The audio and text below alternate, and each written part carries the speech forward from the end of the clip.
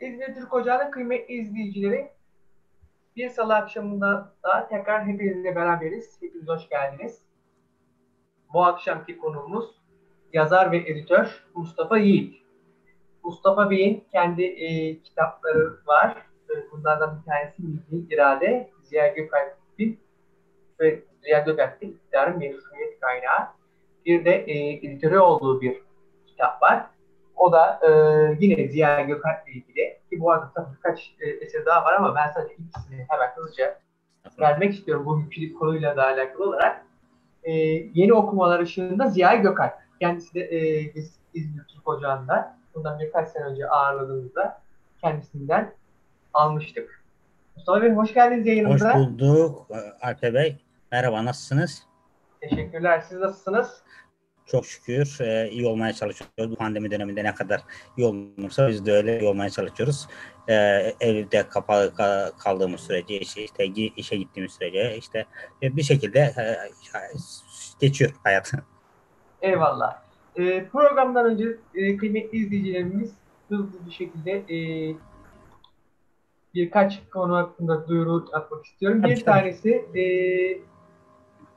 Türkiye'de için yardım vakti.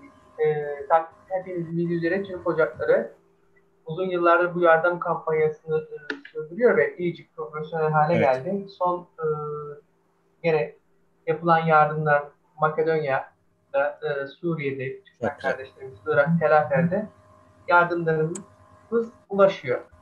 E, yurt içinde de ihtiyaç sahibi vatandaşlarımıza yardımlarımızı ulaştırıyoruz. Yani e, imkanı olan kişilere insanlarımıza destek olmaya bekliyoruz.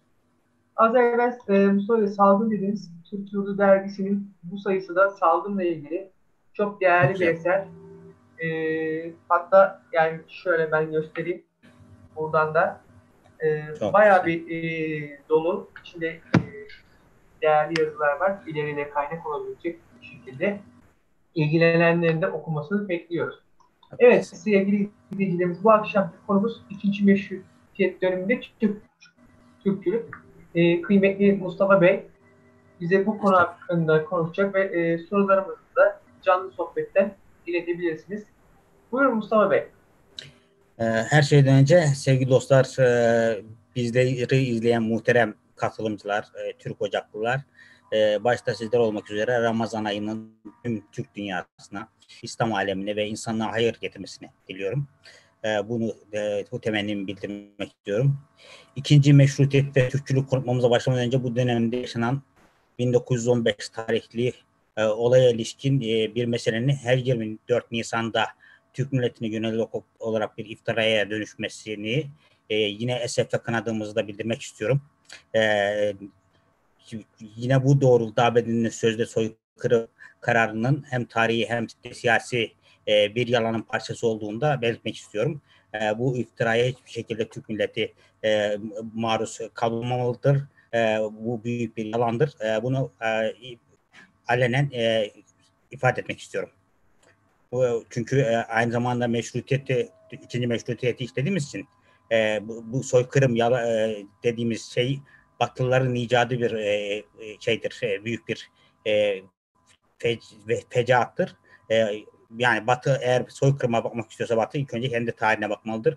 E, bunu açıkça e, söylemek istiyorum. E, bu konuyla ilgili e, biliyorsunuz 1919 yılında e, Türkçülerin ve iddiaçların büyük bir bölümü e, Nemrut Paşa tarafı e, divanı tarafından yar, yargılanmaya tabi tutulmuş ama hiçbir şekilde bir delil ortaya konulamamış e, ve bu konuda beraat etmişlerdir. E, bu, bu, bunu çok çok açık ve yüreklilikle söylememiz gerekir. E, Türk tarihine atılan büyük bir iftiradır. Bunu özellikle belirtmek istedim. Alper Bey. Ee, yine e, günümüzde e, yaşadığımız salgın felaketinde bir an önce yeryüzüne silinmesini e, is, is, e, diliyoruz. E, dışarıda sağlıklı günleri yaşayacağımız, güzelce dolaşacağımız günlere e, büyük bir özlemimiz var. E, bu konuda e, büyük bir vazife olan doktorlara, hemşire arkadaşlara, sağlık teknisyenlerine de e, bu, bu büyük çabalarından dolayı e, tebrik ve teşekkür etmemiz gerektiğini düşünüyorum. E, bu arada hemen şunu da ifade edeyim ki Türkçülük deyince tabii tıbbiyeleri unutmamak gerekiyor. Yani o yüzden e, bur- buraya da girmiş olalım. e, biliyorsunuz ilk Türkçü dernek, Türk Derneği 190 Tıbbiyeli'nin e, bildirisiyle e, Gülhan Askeri Tıp Akademisi tarafı e, akademisinde e, dile getirilmiş ve ilk Türkçü dernek kurulmuştur. Bunu da burada hemen e, belirtmek isteyelim. E, ayrıca e, yine bir burada küçük bir duyuru yapmak istiyorum. E, Türk Ocağı e, Türk milliyetçiliğinin önemli e, istinahgahlarından biridir. Önemli kurumlardan bir tanesidir. Hatta ilk kurumlardan bir tanesidir. Bunun e, niye romanı yazılmadı falan diye sürekli söyleniyordu. Metin Savaş hocamız e, Ötken yayınlarından e, Türk Ocağı'nın romanını çıkardı. Uzun süre çalıştı. E, sık sık sohbet de ettik e, Metin hocamla bu dönemde. Çok güzel bir roman. E, herkese tavsiye ediyorum. Adı Kıvılcım. Türk Ocağı tarihini anlatan önemli bir roman. E, inşallah herkes e, edinir. E, Türkçülüğün tarihine de e, önemli bir e, açılım getiren bu romanı okur. E, şimdi değerli dostlarım e, Peyami Safa şöyle diyor. Türkçülüğe başlıyoruz. Madem Türkçülüğe giriş yapıyoruz. Millet fikri tarihin ilk çağlarında bir tohum, orta çağlarında bir fidan, zamanımızda gölgesini bütün dünyaya salan bir ağaç halindedir diyor. Milliyetçilik fikrinin e, dünden bugüne e, bir fikir olduğunu ifade ediyor ve millet gerçeğine e, önemli bir şekilde e, değiniyor. Değerli dostlar, Türklük şuuru her zaman mevcuttu. Ta Orhun abilerinden bu yana gelen bir bilinç söz konusudur. Türkçülük meselesi milliyetçiliğin bir sistem içinde sunulması olarak ise Osmanlı İmparatorluğu'nun yıkılma dönemine rastlar ve milliyetçilik fikriyatına sahip düşünürlerin ve bu minvalde kurulan teşkilatların omuzlarında yükselir. Türkiye'de milliyetçiliğin doğması Türkçülük akımının gelişmesiyle e, mevcut e, vücut bulmuştur. E, Yusuf Akçur önemli Türkçülerden, e, Tatar Türklerinden e, önemli semalarından, Türk Ocağı'nın da e, yöneticilerinden, Türk Dergisi'nin genel ilk yayın yönetmenlerinden Yusuf Akçur'a ikinci meşrutiyet dönemini Türkçülüğün tazi yani şekillenme devresi olarak niteler. İkinci meşrutiyetle birlikte Türkçülük e, ete kemiğe bürümeye başlamıştır. Bu çok önemli bir şey. Niye ikinci meşrutiyet e, sorusunu sorduğumuzda e, Akçura'nın bu cümlesi bence çok önemlidir. Türkçülük bilhassa üç alanda ikinci meşrutiyet döneminde kendini gösteriyor. Türkçülüğün ideolojik düzeyde kuruluşu e, düşünürler tarafından gerçekleştiriliyor. Kimler bunlar? Ziya Gökalpler, Yusuf Akçuralar, Ahmet Ağaoğulları, Fuat Güller, Hüseyin Zahid Aliler, Ömer Seyfettinler, Hamdullah Supiler, Ali Canipler, Ahmet Ferik Tekler. E, şimdi bu isimleri saydığımız zaman e, şey Real Madrid'e derler böyle Los Galacticos diye. Yıldızlar topluluğu gerçekten. Yani Türkçülüğün böyle zirveleri, zirve isimleri. Bu isimler var ilk önce fikri düzeyde. İkinci olarak Türkçülükte neler var? Kurumlar var. Türk Derneği, Türk Ocakları gibi kurumlar. Yine bu dönemde e, sadece kurumlar yetmiyor. Türk Yurdu, Genç Kalemler, Yeni Mecmua, Halka Doğru, İslam Mecmuası, Milli Tetebular Mecmuası gibi dergiler etrafında birleşen Türkçe yazarlar var. Yani üç sadece yağ üzerinde yükseliyor. İkinci meşrutiyette Türkçülük. Kur, kişiler, düşünürler, ya, yazarlarımız, kurumlar ve bu kurumlarla birlikte dergiler. 1909'dan itibaren e, e, o yapan e, şey 1911'de kurulan 1952'de resmi kuruluşunu sağlayan Türk Yurdu 1909'da e, ilk 9 sayısı e, başka bir isimle başlayan daha sonra e, genç kalemler olarak kendini de, devam ettiren e, yine bir Türkçü dergi e, söz konusu burada. Türk milliyetçiliğinin terminolojisi, tarih algısı, millet algısı, devlet algısı hep ikinci meşrutiyet döneminde şekillenmiştir. Çok önemli, bir şeydir. Coğrafya ve tarih sınırı olmadan devlet ve hanedan sınırlanmasına tabi tutulmadan bir Türklük algısı me, ikinci meşrutiyet döneminde ortaya konulmuştur. Ziya Gökalp bu hususu Türkçülüğün esaslarının girip bölümünde etaflıca ele alır. Türkiye'de Türkçülük akımının zuhurundan evvel Avrupa'da Fransızca deyimle Türküere denilen Türkperestlik akımı ön plana çıkar der. Bu neydi? Türk halıları, kilimler, işte mücellitler, tesipçilerin yaptıkları ciltler, mangallar, şamdanlar, işte moda, e, Türkçülük modadır 19. yüzyılda.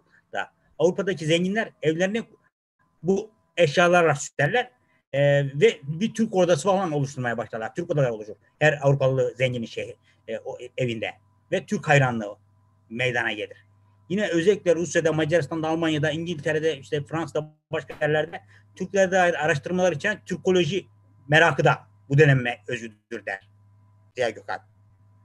Türklerin pek eski bir millet olduğu, gayet geniş bir sahada yayıldığı ve cihancarane bir devlet olduğu, medeniyetler kurduğuna ilişkin çalışmalar da yine bu döneme aittir. Bu, bu dönem tabii 1876 öncesi dönem diyoruz daha çok. Ee, Yusuf Akçura'nın tasnifinde de bu vardı. Milli Türkçünün ta, ta, tarihini anlatırken e, o da dönemler arayı işte 1860, 76, 76, 1890, 1890, 1900 ve devam eder 1900'e kadar olan dönemi. Batı'da siyasi bir akım olarak ortaya çıkan Türk milliyetçinin Osmanlı toplumuyla buluşması e, Türkçülük akımının doğmasıyla şekillendir. Yani milliyetçilik Türkiye'de Türk milliyetçilik Türkçülükle birlikte doğar. Bu çok önemli bir şey. Türkçülük akımı Türk milliyetçiliği akımını doğurmuştur. Türkçülüğün gelişimi ilmi, edebi ve siyasi olmak üzere üç safhada gerçekleşmiştir. İlk iki safhada birçok milliyetçi akımının olduğu gibi Türkçülük kendini dil, edebiyat ve tarih anlamında çalışmalar göstermiştir. Ee, eskiden Türk devleti içinde var olan ancak hiçbir zaman öne plana çıkarmayan bir kavram Türkçülük. Yani Osmanlı'da da e, Türk var tabii ki. Ancak e, millet İslam ya da Osmanlı millet olarak anlatılmakta. Türk milleti terimi, tabiri daha çok Türkçülerle birlikte kendini göstermeye başlar. Bakın şunu unutmamak gerekiyor ki 19. yüzyılın sonlarından itibaren Türklük üzerine yapılan çalışmalar sonucunda 2. Abdülhamit döneminde Türk kavmi, e, Türk ırkı, lisanı, e, lisan da artık şerefli ve gurur duyulan bir kavim olarak anlatılmaya başlanmıştır. Bu çok önemli bir şey. Türkçülükle birlikte yapılan şeylerden bir tanesi budur. Yani e, Naima, Naima tarihinde etrakı bir idrak diyor mesela. İşte ger, ger, göçebe Türkler için diyor, akılsız Türkler. Yani Türkler e, bir e, millet olarak değil de bir kavim olarak e, sürekli yer almış o dönemde. Türk tarihinin e, geniş bir şekilde ortaya çıkarılması, e, geniş bir şekilde perspektifte ortaya çıkarılması ise bu Türkçü yazarlar tarafından e, meydan, meydana getirilmiştir. Türkçülüğün Türk milliyetine yani siyasal bir akıma dönükmesi ve örgütlenmesi ise ikinci meşrutiyet ilanından sonra gerçekleşmiştir. Bu örgütlenme girişimler arasında Türk Derneği, Türk Yurdu Cemiyeti ve Türk Ocakları gibi derneklerin kurulması vardır. Yine bu dernekler e, şöyle bir önem var. İttihat Terakki Türkçülüğü ön plana çıkaracak e, bir e, pozisyonda değildir. Çünkü iktidardadır, merkezdedir. E, bu dernekler vasıtasıyla Türkçülük ön plana çıkmıştır. Ama bu dönemde şunu belirtmek gerekir ki Türkçü partiler kurulmadı mı? Kuruldu. 1912 yılında Milli Meşrutiyet Fırkası Ahmet Ferit Tek ve Kuleli Askeri Lisesi'nden itibaren arkadaş olan, beraber sürgünlere gittiği, Paris'e kaçtığı e, Yusuf Akçura ile birlikte Milli Meşrutiyet Fırkası'nı kurar. Milletperver Fırkadır hatta bunun adı 1912 yılında. Yine 1919 yılında Malta'ya sürülmeden kurtulan Türkçülerin kurduğu Milli Türk Fırkası var. Bu çok önemli. Türk adıyla ilk kez bir fırka kuruluyor 1919 yılında. Ee, bu bizim için bence Türk siyasi tarih açısından da çok önemlidir. Ben bunun üzerine biraz çalışıyorum. İki tane fırka üzerine. Yakında onunla ilgili bir çalışmamız da e, inşallah yer alacak. Aslında bu fırkaların kuruluşundaki e, bu, bu, bu fırkalar e, kurulurken e, şöyle bir eksiklik e, hissediliyor ki e, onların e, hemen şeylerinde de var. E, ne derler? E, tüzüklerinde de var. Türkçüler bu parti programlarında mesela şöyle ifade ediyor iki Türkçü partide. Türkler yüzyıllardır devletin hudutlarında çarpıştı. Kendi illerini ihmal etmek zorunda kaldılar. Türk illerinin kalbi Anadolu bakımsızdır. Türklerin de milli kaderlerini düşünmesi zamanı gelmiştir. Bu çok önemli bir şey. Niye zamanı gelmiştir? Türkçülüğün ortaya çıkmasının diğer sebeplerinden bir tanesi de tabii ki Osmanlı yavaş yavaş parçalanmaya başlayınca bir Balkan Harbi, iki Birinci Dünya Savaşı Balkan Harbi'nde Hristiyan unsurlar, ekaliyetler e, özellikle Birinci Dünya Savaşı'nda Arapların, Arnavutların e, bir bir Osmanlı'dan ayrılmasıyla birlikte ortada kalan tek şey Türktür. Çok önemli bir şey. Anadolu Türklüğü kalmıştır. Türk milliyetçiliği tetikleyen, Türk milliyetçi fikriyatını e, en güçlü e, hale getiren e, dönemlerden bir tanesi de bu dönemdir. Bu, dönemde Türk milliyetçiliği 1913'te diyor şey Yusuf Akçur öyle diyor. Türk milliyetçiliğinin zirve dönemi 1913 ile 1918 arasıdır diyor. Yani bu buhran dönemi. Züeyya Gökalp de der ya mefkure buhran dönemlerinin ortaya çıkar der. En zirve noktaya e, e, erişir der. Türkçülük e, de 19 özellikle 1913'te 1918 döneminde zirveye ulaşır. Türklük bilinci sadece aydınlar tarafında ele alınmış bir, bir bilinç değil Türkçülük. Cemal Paşa bir konuşmasında Türklükle ilgili şunları söylüyor. söylüyor. Kendi adıma konuşsam ben esasen Osmanlıyım. Fakat bir Türk olduğumu unutmuyorum ve Türk ırkının Osmanlı İmparatorluğu'nun temel taşı oluşturduğuna inancımı hiçbir şey sarsamaz. Osmanlı İmparatorluğu esas olarak Türkler tarafından yaratılmış bir imparatorluktur der. Yani Türklük bilinci sadece aydınlarda yok. Bürokratlarda da var bu dönemde. Bunu ortaya koymak gerekiyor. Yine bu dönemde işte e, çok önemli çalışmalar var Türklükle ilgili. İşte Leo Kohan'ın e, e, çalışması var. Şey Hunların, Türklerin, Moğolları ve daha Tatarların tarihi üzerine bu neslin bir çalışması var. E, yine bu dönemde Mustafa Celalettin Paşa'nın eski ve modern Türkler yani 1876 öncesini anlatıyorum. Modern Türkler çalışması var. E, bu çok önemli bir çalışmadır. İlk kez e, Celalettin Paşa tarafından e, o Osmanlı öncesi Türkler anlatılmıştır. 144 sayfa Osmanlı'dan önceki Türkler anlatılmıştır ki bu çok önemli bir çalışmadır. Ee, yine bu dönemde e, Vefik Paşa'nın Lehçe-i Osmani, e, yine Süleyman Paşa'nın Tarihi Alem, Süleyman Paşa e, bu, e, Tarihi Alemi e, şey için yazar. E, aynı zamanda asker okullar e, nazırıdır. Askeri öğrenciler için yazar. E, burada e, Türklükten iştiyakla başlar. E, bu çok önemli bir gelişmedir. E, işte Ali Suavi'nin Türkçülüğü vardır o dönemde. E, Nami Kemal'in e, va, vatan üzerinden bir e, milliyet okuması vardır. Bunlar çok önemli çalışmalardır. 1876 öncesinde. Ya işte yine bundan sonra Şemsettin, şey, Şemsettin Sami'nin Kamusu Türk çalışması. E, bunlar hep kültürel çalışmalar. E, bu dönem e, böyle geçer ama 1908 ile birlikte Türk milliyetçiliği fikriyatı e, tüm Anadolu coğrafyasına, Osmanlı coğrafyasına, işte e, Rusya'da yaşayan Türk coğrafyasında e, büyük bir şevkle, iştiyakla karşılanır. İşte Hüseyin Ziya'da Ali Bey 1892'de Turan şiirini yazar.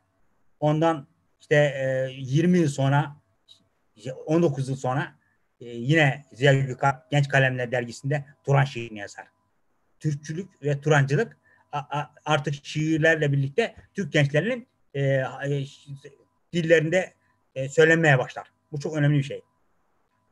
Ve bu, bu dönem aynı zamanda e, 1918'e kadar e, zirvesini yaşar. Bu bu zirve e, 1918'de birlikte sona ermez tabii. Çünkü milli mücadele vardır. Milli mücadele döneminde de bütün Türkçüler e, milli mücadelenin e, her safhasında yer almışlardır. E, şöyle söyleyeyim e, işte e, Abdullah Supus, Tanrıver, Halide Edip Adı var meşhur e, şey mitingleri, e, Sultanahmet mitingleri, Fatih mitingleri, mitinglerde e, Türkçüler başroldedir. Hatta e, İngilizler e, Kuvayi Milliye'ye milliyetçiler, milli hareketçiler adını takmıştır çok önemli e, şey, bütün İngiliz belgelerinde e, Kuvayi Milliyetçiler, Milliyetçiler ve Milli Hareketçiler yanlar. E, bu, bu, buna, buna e, vurgu yapmak gerekiyor. Şimdi bunu kısaca anlatmak istedim ama şöyle bir şey yapalım. E, dernekleşme, cemiyetleşme anlamında ilk dernek yani niye meşrutiyetten başladığımızı söylemek için söylüyorum. 25 Aralık 1908'de Türk Derneği kuruluyor. Bu çok önemli. Yusuf Akçura, Necip Asım, Velid Çelebi yani meşrutiyet oluyor. Hemen ardından 4-5 ay sonra Türk Derneği kuruluyor. Ve bu Türk Derneği kurulduktan sonra e, Türk Yurdu 1911'de başlıyor Mayıs'ta 1912'de e, 12 Mart 1912'de e, kendi kuruluşunu tamamlıyor. E, bu, bu, burada bir Türkçü e, derneklere e, iktidarın da büyük desteği var. Bunu hemen söylemek gerekiyor. Mevcut iktidarında. Çünkü mevcut iktidarın en önemli e, üye, e, merkez azalarından bir tanesi Ziya Gökalp. E, Kazım Nami Duru aynı zamanda Türk Yurdu yazarı. Yine iddia, iddiatçı e, yazarlardan. Bunlar e, Türkçü düşüncenin, Türkçü e, hareketin gelişmesinde e, çok önemli katkılar sağlıyorlar. Büyük e, şey önemli eserler ortaya koyuyorlar. E, gerek şiirleriyle de gerek nesilleriyle mesela Genç Kalemler dergisinde e, yeni hayat derken aslında Ziya Gökalp Türkçü bir hayatı ortaya koyuyor. Yeni hayat ve yeni kıymetler. Artık diyor düzen değişmiştir, dönem değişmiştir. Yeni bir dönem başlamıştır. Bu dönem e, Türk milletinin e, kıymetlerinin ön plana çıktığı, yüzü, Türk yüzülerinin ön plana çıktığı yeni bir dönemdir. Bu dönemin e, diğerlerinden farkı artık sadece lisanda değil, Türkçülüğün esaslarında e, da, ya, işte hukukta, dinde, sanatta Türkçüleşme şeyleri, e, eğilimleri ve Türkçüleşme çabaları olduğunu görürüz. E, Türkçülüğün en önemli e, taşıyıcılarından bir tanesidir Ziya Gökalp bu dönemde. Onun hakkını e, özellikle vermek gerekiyor. Yani sadece yazdığım için değil, e, Ziya Gökalp gerçekten e, fikri manada Türk siyasal düşüncesinin en önemli Türkçü düşünürlerinden bir tanesidir. E, bunu ölümüne kadar 1924 yılına kadar sürdürmüştür. Sadece Ziya Gökalp değil. Yusuf Akçura da aynıdır. Yusuf Akçura 1910 1904'te üç tarzı siyaset yazdığında Türkçülüğü ön plana çıkaran bir e, risaledir bu. 1904 yılında başlamıştır bu. E, Türkleşmek, İslamlaşmak, muhasırlaşmak 1913'ten itibaren e, Türkçü dergisinde Zevk Kap tarafından kaleme alındığında e, 1918'de de basıldığında e, muasır bir Türk İslam Türklüğü ibda etmek diyor. Bizim amacımız diyor. Yani bunların tabi muasırlaşmayla veya İslamcılıkla e, bir şey mücadelesi yoktur. Ziya Gökalp mesela. Orada diyor ki ya kardeşim Batı'nın aletini işte tekniğini alalım tamam ee, ama bizim için aslında muasır bir İslam Türklüğü iddia etmek. Onu ya, e, e, yaratmaktır. Bu muasır İslam Türklüğü e, Ziya Gökalp'teki ya, Cumhuriyete geçişte de çok önemli bir kolaylık sağlamıştır. Bu çok önemlidir. Çünkü Ziya Gökalp e, daha sonraki e, dönemlerde Müslüman Türklüğü e, meselesi e, sürekli tartışılmış, tartışılmıştır. Buna karşı çıkanlar e, işte e, Anadolu Türkçülüğünü savunanlar, e, Anadolucular falan da olmuştur. Ama e, nihayetinde Türkiye Cumhuriyeti e, meşrutiyetin mirası üzerine kurulmuştur. İkinci meşrutiyetin. Türkçü mirası üzerine kurulmuştur. Ya, e, ve kuruluş felsefesi Türk milliyetçiliği üzerinedir. E, bunu çok iyi e, sürekli ifade etmemiz gerektiğini düşünüyorum ben. Türk milliyetçiliği e, üzerine inşa edilen bir cumhuriyetin üzerinde yaşıyoruz bugün. Bu bizim en önemli dayanak ve savunma noktamızdır. E, bunun şeyi e, e, asli sebebi ise ikinci meşrutiyette ortaya konulan Türkçü düşünceler, Türkçü kurumlar, Türkçü e, dergilerdir bu döneme ilişkin e, söyleyebileceğimiz e, en önemli şeyler bunlar diye düşünüyorum. E, başka e, Türkçülük meselesi üzerine düşündüğümüzde e, ikinci meşrutiyetin mesela e, şu, o Türkçü şöyle de yapmışlardır. İslamcılarla da, Batıcılarla da, Batılılaşma taraftarlarıyla da e, dergiler çıkarmış, İslam dergisi falan çıkarmıştır. Ee, ama Ziya Gökalp'in dediği gibi yani batılılaşma mesela her yere sirayet, sirayet etmiştir. Yani Selim'den itibaren batıcılık e, projesi olmuştur. Ama batıcılık projesi bizim asli e, bir şeyimiz değildir. Hep vardır. Yani medenileşme diyor Ziya Gökalp'ına. Batılılaşma demiyor. Hat, e, yani teknik açıdan ilerleme diyor. e, İslamcılık da Türkçüler için uzak değildir. Şu anlamda uzak değildir. E, çünkü diyor e, yani İslam dairesi içinde bir Türklük var zaten diyor. Yani bir İslam dünyası var, bir Türk dünyası var. Bu birisi beynel millet diyor. İslam beynel millettir. Türkçülük e, me, milli e, bizim tarafımızdan e, şey, milliyetçilik bizim tarafımızdan oluşan bir şeydir. Bunlar birbirine tenakuz değildir. Bunlar birbirine karşıt değildir. Yani bir, böyle bir karşıtlık üzerinden bir e, açıklama yapmaz. O yüzden Türk milletinden, İslam milletinden, Garp medeniyetinden sözü Ziya Gökalp'in e, bunu anlatır. E, bu meşrutiyet e, aslında e, dediğim gibi bu üç tane düşünce etrafında Türkleşmek, İslamlaşmak, muhasırlaşmak bir de Osmanlıcılık e, daha öncedir. Osmanlıcılık artık e, 1914'te birlikte e, iflas etmiştir. Bunun üzerine kurmuştur ama baskın düşünce, meşrutiyetin baskın düşüncesi Türkçülük düşüncesidir. Türkçülük düşüncesi etrafında gelişen dergilerdir. Bu dergiler etrafında yazan yazarlardır. Yani o dönemde Yahya Kemal'inden tutun da Fuat Köprülüsü'ne kadar hepsi e, bu menbaadan beslenmişlerdir. Bu menba üzerinden e, yeni bir hayat tasavvur etmişlerdir. Türkçülük menbaası e, bütün o dönem bütün düşünürleri e, etkilemiştir. İşte e, şey Halide Edip'in romanı, Turan romanı, işte e, şeyin Yakup Kadri'nin Ergenekon romanı. Bunların hepsi Türkçü etkilenmelerden kaynaklanır. 1914 yılında çıkan işte Kızıl Elma şiiri Ziya Gökalp'in. Bunlar hep daha sonraki yazarların tamamını etkilemişlerdir. Türkçü bir e, düşünce oluşmasına, Türkçü bir hal oluşmasına e, yol açan önemli sahipler bu Türk Derneği, Türk Yurdu, Genç Kalemler e, ile birlikte Türkçülük düşüncesini işleyen yazarlar tarafından e, gelecek nesiller aktarılmıştır. Yeni nesiller e, ikinci meşrutiyet üzerinden bir Türkçülük okuması yapmışlardır. Evet Usta. Ee, evet. Arada sorular da var. Tabii, tabii. Ben e, bir e, soruyu da iletmek istiyorum. Mehmet Hacı Musalar iletmiş. Ondan sonra Türkiye'de Türkçülük gelişirken Türkistan'da durum nasıldı diye.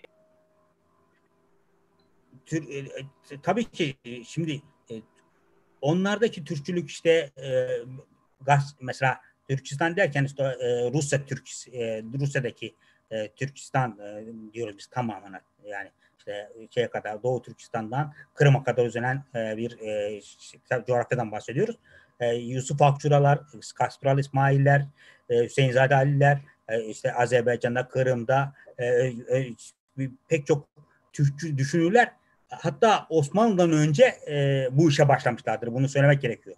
Yani batı, batıda, gerçi batıdaki Türkçülük, işte batıda Türkçülüğü dediği Azerbaycan, Kırım Türkçülüğü hepsinden daha önce gelişmiştir. Bunu çok e, bunu e, pek çok yazar ifade eder. E, ilk önce buralarda e, neşet bulmuştur. Yani Gasparal İsmail bu, e, bu Türkçülüğün önce isimlerindendir. Tercüman gazetesiyle birlikte. E, işte Yusuf Okçura yine bu önce isimlerdendir. E, biraz önce bahsettim Hüseyinzade Ali Turani zaten soyadı Turani'dir. Turan şehriyle e, bunun öncülüğünü yapmıştır. E, bu e, Orta Asya'daki e, işte Rusya Türklüğü e, Osmanlı'daki Türkçülüğün öncüleridir. Bunu söylemek gerekiyor. Üstad e, ben bir soru sorayım. Tabii tabii. E, bizim Türkiye'deki bu e, aydınlarımızla cedidçiler arasındaki bağları bugün nasıl görüyor? Bursa'daki cedidçilik hareketiyle.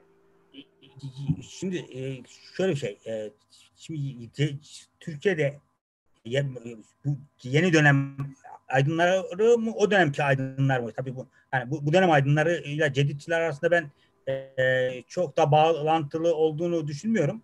Ha, ikinci meşrutiyet dönemi. O, dönem. Ha, iki, ha, tabii tabii. E, ikinci dönem, onu, onu diyecektim. İkinci dönemde şimdi şöyle bir şey var.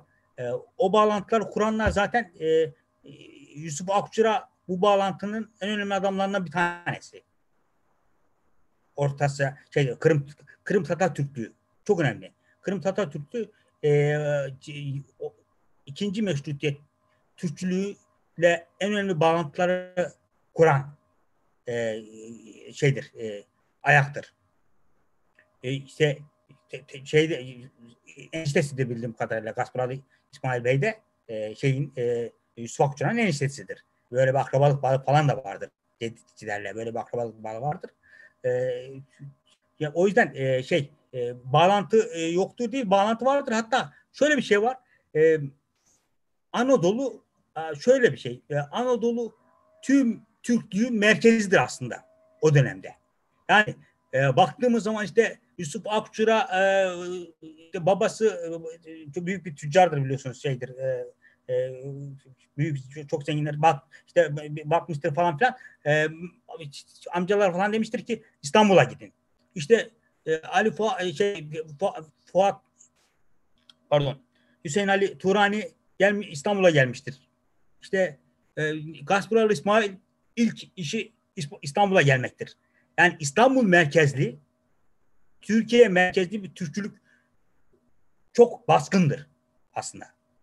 Yani nihayetinde eninde sonunda e, İstanbul'da e, bir e, Türkçü merkez söz konusudur.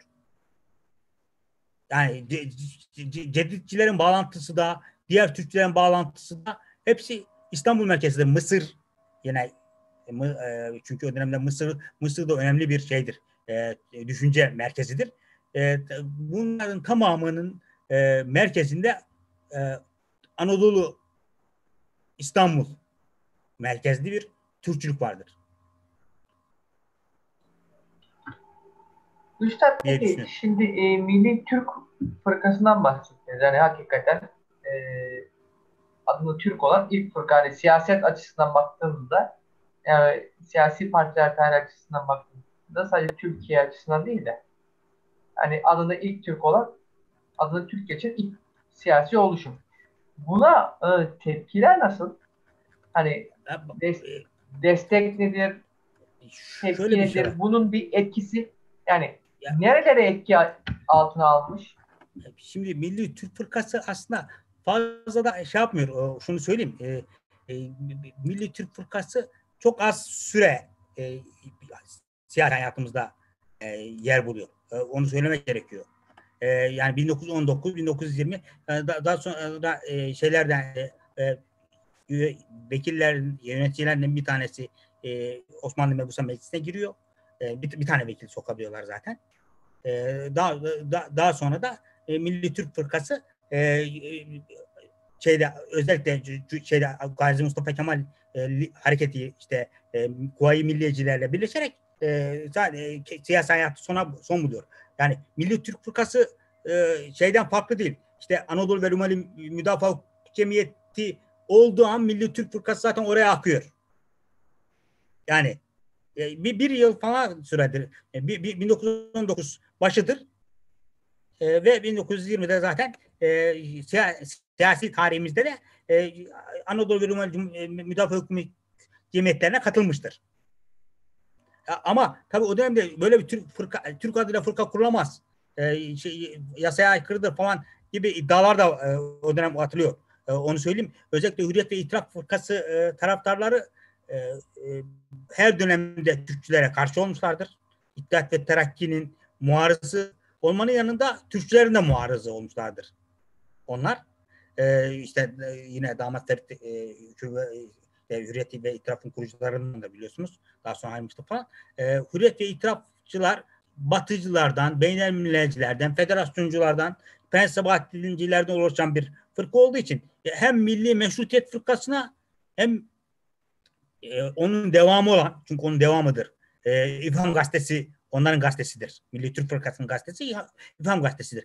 E, onların e, devamı olan Milli Türk Fırkası'na karşı çıkmışlardır. E, saldırmışlardır. E, Türkçü bir partinin olamayacağı işte Osmanlı'nın zaten işte böyle bir e, bu nedenle e, dağıldı hatta. İşte milliyetçilik e, düşüncesi nedeniyle dağıldığı E, bu nedenle Milli Türk Fırkası'nın da e, e, kurulmaması gerektiği, olmaması gerektiği böyle bir fırkanın e, yer almaması gerektiği konusunda e, şeyler var. E, e, iddialar var. Şu, bu iddialar Milli Meşrutiyet Fırkası onun e, önce sonra 1912 o, o, onun içinde geçerli hatta Tanin dergisinde Hüseyin Cahit Yalçın aleyhine bir yazı yazar. E, bunun üzerine Ziya Gökalp Türk Yurdu'nda e, Milli Meşrutiyet Fırkası'nın e, kurulmasını olumlu buluyor. Türkçü bir partinin e, kurulması, militerver bir partinin kurulması e, güzel bir gelişmedir diye de yazı kalem alır. E, bir Milli Meşrutiyet Fırkası ile ilgili bildiğim kadarıyla yani ikinci cildinde ama kaçıncı cildi olduğunu pek hatırlamıyorum ama Milli Meşrutiyet Fırkası'nın kurulmasını e, kutlamak üzere Türk Yurdu e, bir makale yayınlar. Yani Türk Yurdu ve çevresi e, çok e, olumlu bakar buna. Evet Üstad. E, bu arada ben gene e, müsaadenizle e, Estağfurullah. Programın başına e, kaçıran izleyicilerimiz için tekrar hatırlatalım. E, yardım kampanyamız devam ediyor. E, yıllardır Türk Ocakları genel merkezimiz bu yardım kampanyaları yapıyor.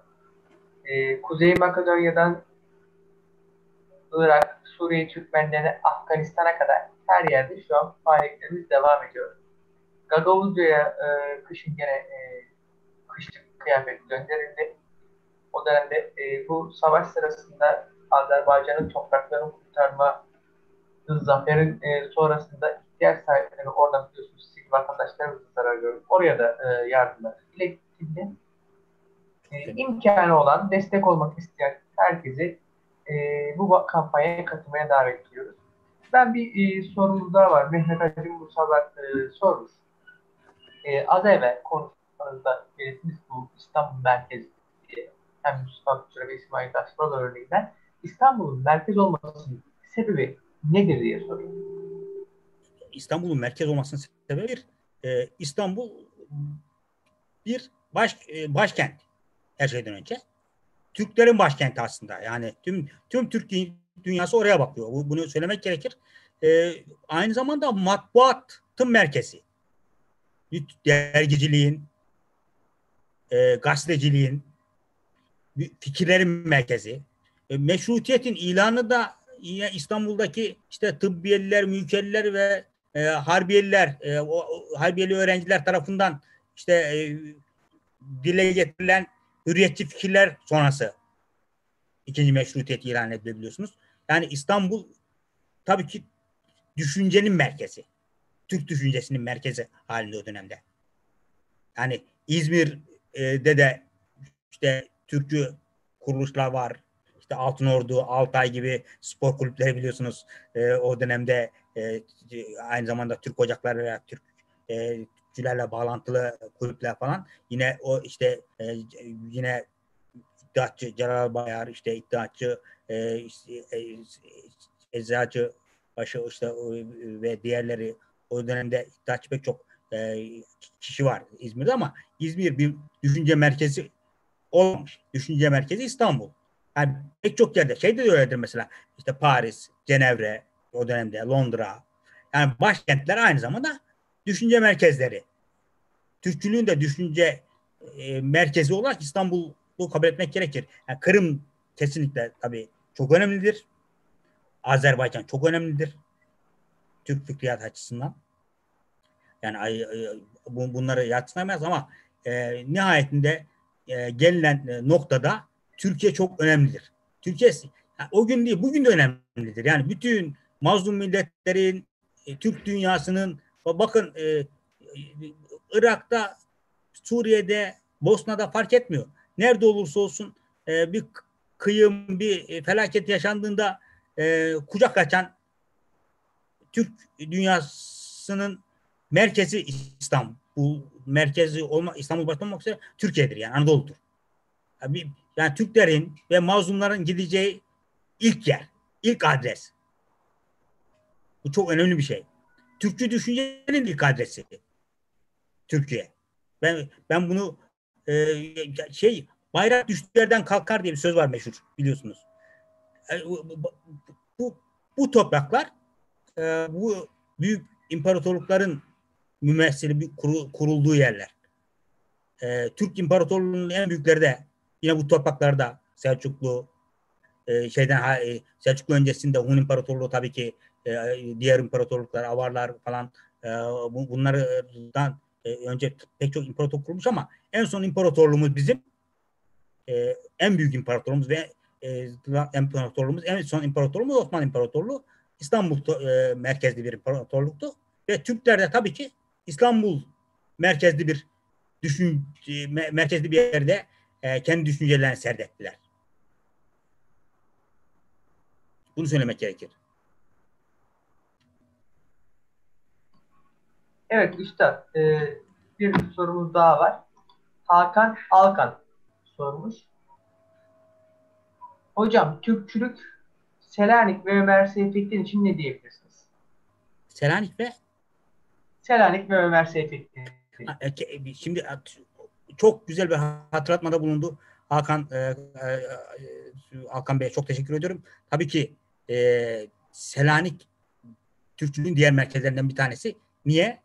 İttihat Terakki'nin ilk kurulduğu yer, hürriyetçilerin ilk konuşlandığı yer.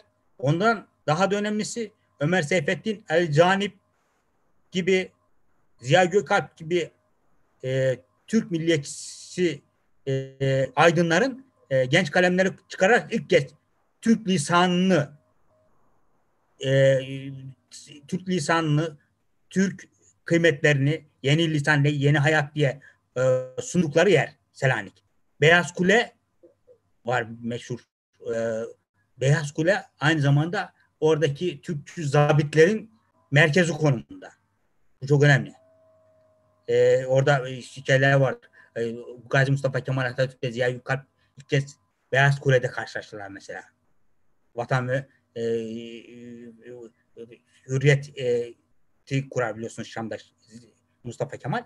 Daha sonra işte Selanik'e geldiğinde burada da bir İttihat Terakki e, gibi örgütleme vardır İttihat Osmani. E, bu örgütlemeye katılır. İlk kez Türkçülerle e, ilk temaslardan biri mesela Selanik'tedir. Mithat Şükrü bile daha Selanik'tedir. Ünlü e, yine Türkçülerden. Yani bunlar çok önemli. Selanik Türkçülüğün meskelelerinden bir tanesidir. Bunu tabii ki unutmamak gerekir. E, ama 1912 e, ile birlikte Selanik'in elden çıkmasıyla birlikte tekrar İstanbul'da bu saydığımız kişiler buluşurlar. Hatta işte şey öyle der Yusuf Akçura e, genç kalemlerin artık çıkacak durumu yoktur. E, genç kalemlerin kadrosu e, Türk Cumhuriyeti dergisine dahil olur. Selanik e, ilk Türkçülük merkezlerinden bir tanesi. Bunu unutmamak gerekir.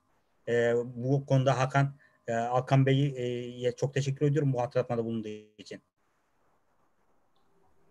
Evet.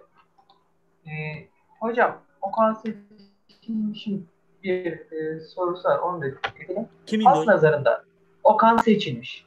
Evet buyurun. Halk nazarında Türkçülere ve Türkçü kuruluşlara bakış nasıldır? Azınlıklar hariç herhangi bir tepki olmuş mudur? O, o dönemde. Evet. İkinci meşrutiyet. Tabii ikinci meşrutiyette e, halkın e, Türkçülere e, nasıl baktığı e, meselesini biraz e, çok zor bir e, şey konu şu, şu anlamda bir e, dediğimiz gibi Türkçülük e, İstanbul merkezli o dönemde her şeyden önce.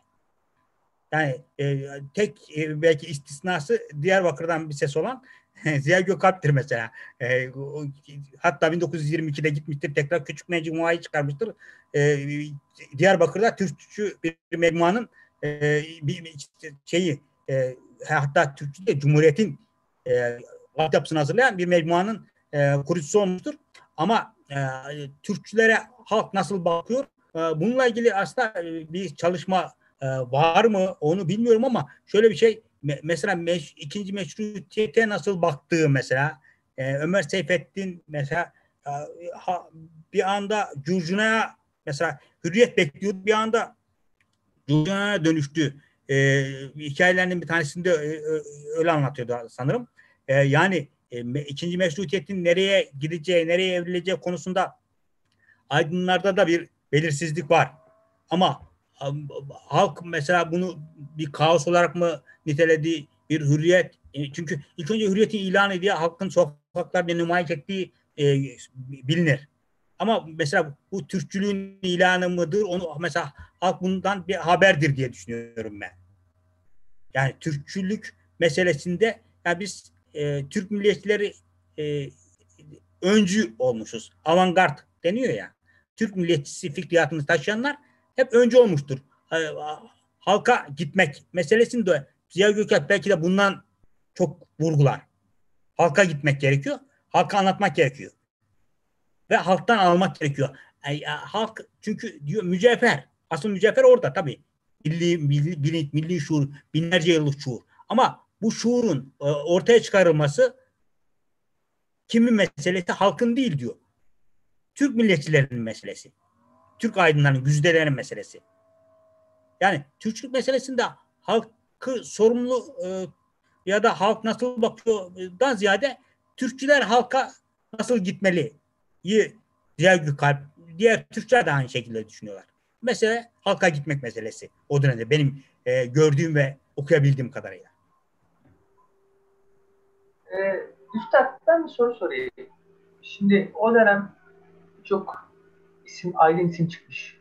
Ondan sonra düşünür, yazar, e, edebiyatçı, şair. Şimdi o döneminde günümüzü bir karşılaştırabilir miyiz?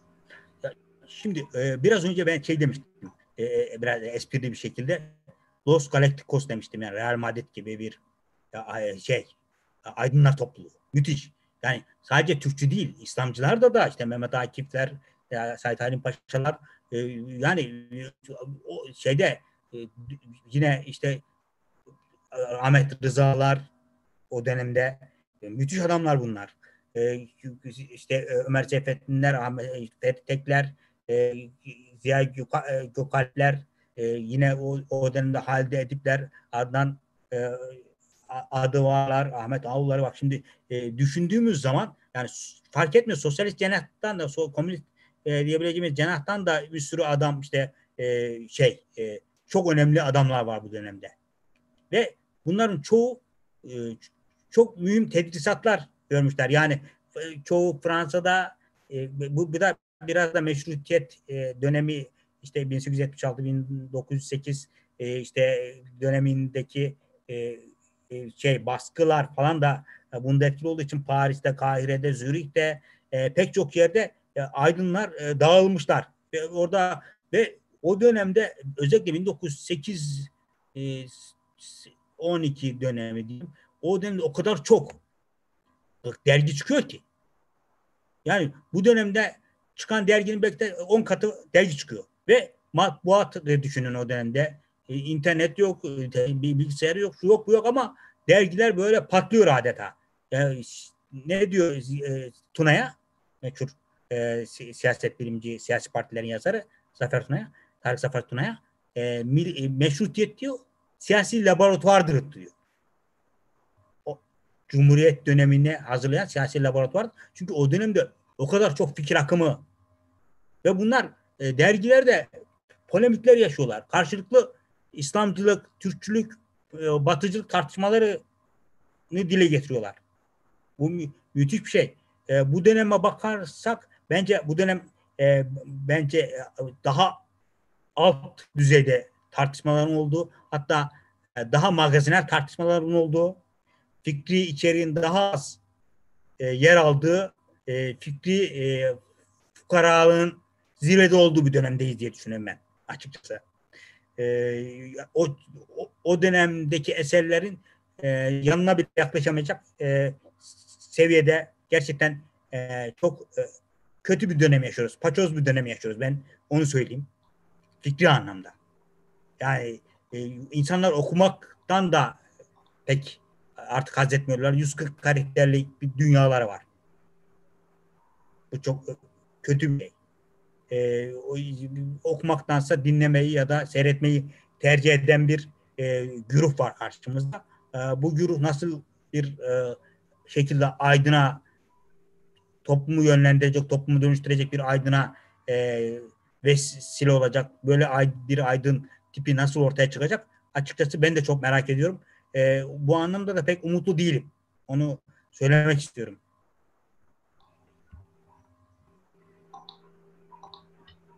Evet Üstad, ben size katkı yapayım. Ee, o grupla ilgili olarak. Her şeyi emojilerle anlatmak isteyen bir grup.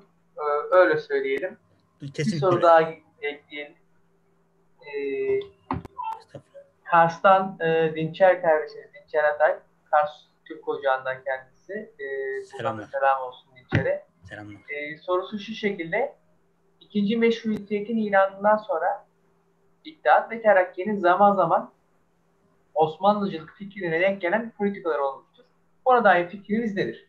Ya şöyle bir şey, İttihat Terakki e, homojen bir yapı değil. Onu söylemek gerekiyor. Yani İttihat Terakki'de İslamcısı var, Türkçü var, e, işte gayrimüslim bir kesim de var yani. Onu da söylemek gerekiyor. E, e, e, çünkü hakaretler var o dönemde. E, Osmanlıcılık politikasını şöyle sürdürüyor.